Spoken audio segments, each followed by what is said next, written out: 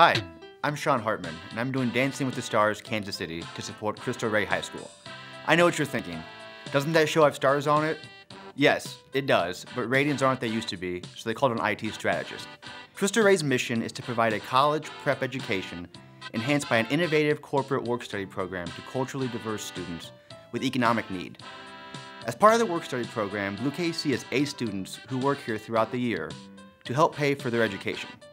I'm dancing to raise $25,000 to help pay for the other half of these eight students' school costs that isn't covered by their work-study program.